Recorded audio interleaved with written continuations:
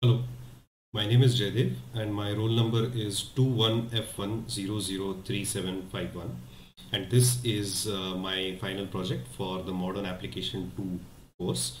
Uh, it's essentially an extension of the flashcard application that we built uh, in the Modern Application Development 1 course.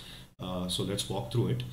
This is just a simple login page. I'm going to log in with my student account. You see. All of the uh, authentication is happening in a completely token based fashion. Uh, there is no cookie based authentication at all.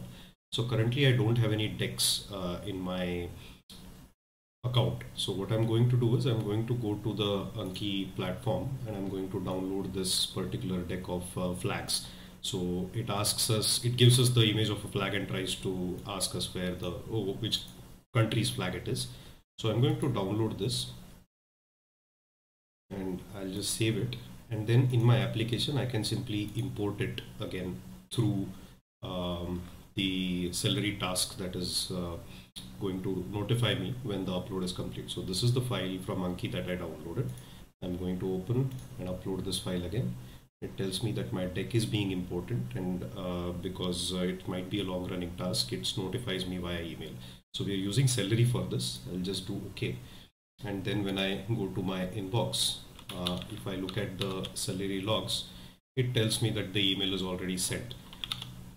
And there it is. That is my notification. It tells me that my email is ready. So I just go home and refresh my page.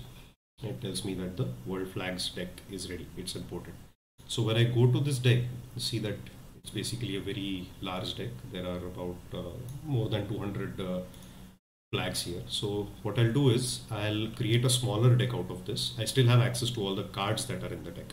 So I'll create a smaller deck out of this and I will uh, show how we can run exercises through that deck. So I've taken a subset of the cards that were available in the imported deck and I've created a smaller deck called smaller flags, which only has 10 cards. The original one had uh, 195 cards. So let's run an exercise through this deck. So it tells us that there are basically these cards in it and I can just revise it before I start exercising. So this is Bangladesh, this is Bhutan, this is Israel, this is probably Nepal, and this is finally South Korea. So I can do a revision like this, just like we do with flashcards. And then let us start the exercise. This is Japan. This is Korea. Okay, it was supposed to be South Korea. This is clearly Canada this is probably Bhutan. Okay no the answer is Nepal. This is Brazil. I made a typo there. This is clearly India. Israel. Uh, perhaps Burma. I'm not too sure. Okay Macedonia. This is Bhutan. The earlier one was Nepal. This is Bangladesh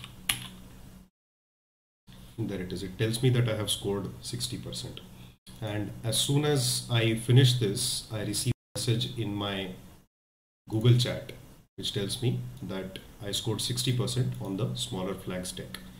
It came exactly about uh, the moment that I finished it. And this is uh, again done through webhooks. So Celery is configured to uh, send this message via webhooks uh, whenever somebody finishes revising a deck right and then when I go back to my dashboard tells me that the last time I reviewed it was 25 seconds ago.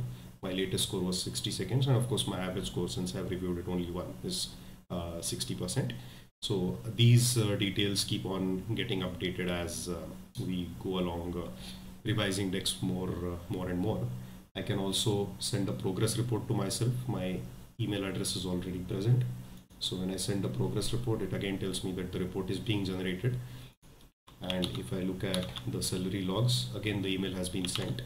So again if I go to my inbox say this is my progress report. It has just arrived in my inbox. And here when I say I see an HTML email which is essentially the same snapshot of the dashboard that I saw on my home page right? And the same email uh, the same report is also available for download as a PDF attachment. So this is pretty much the same thing it tells me that there is one deck which I never reviewed and there is one deck which was reviewed 49 seconds ago and uh, this probably is a mistake I should have given it a timestamp and my latest score is 60% and my average score is also 60%. So this is something that is being done again uh, via scheduled jobs uh, on Celery and uh, there are also daily reminders that keep getting sent. So for example, these are reminders that keep getting sent every hour. The requirement said that we need to send them every month, but for the purposes of demo, I have basically made them send every one hour. So that is broadly what um, the application looks like. You can also go to a particular deck. So you can also go to a particular deck and export that deck. It is available as a zip file and the zip file contains all the images and the cards information, the front and back parts that is required. And then that same deck can be imported again through this uh, portal by any other user. So that is broadly the application. Uh, mostly the biggest changes have been getting rid of uh, Jinja 2 as a templating language. Pretty much all of the front end has been, uh, the templating and the reactivity has been moved over to Vue.js. Uh, caching has been added uh, using Redis and uh, a bunch of celery tasks either to send periodic reminders or on-demand material to a specific inbox, webhooks, generating PDFs, all of that is being taken care of by Celery workers and uh, ultimately all of the jQuery and native JS code that was earlier there to take care of all the reactivity. For example, things like this. When I particularly say create something like a simple card.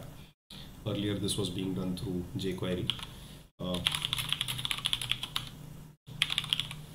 so now all of that is being done through Vue.js. So that is broadly what the application is like. Uh, look forward to seeing this in the Viva.